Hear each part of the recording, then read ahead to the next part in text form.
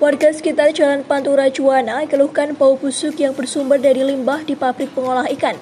Mengambil langkah dari keluhan masyarakat ini, Dinas Lingkungan Hidup Kabupaten Pati memberikan pembinaan kepada pabrik pengolah ikan tersebut. Purwati, Kepala DLH Pati mengatakan di antara beberapa pabrik pembinaan diprioritaskan kepada dua pabrik pengolah ikan yang paling banyak diadukan masyarakat yakni Bumi Indo dan Indo Citra. Pembinaan dilakukan dengan cara melakukan pengambilan sampel limbah untuk selanjutnya diperiksa di laboratorium di tingkat provinsi.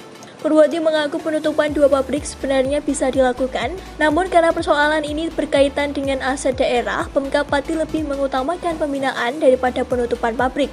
Dari Pati, Moh Anwar, Mitra Pos melaporkan.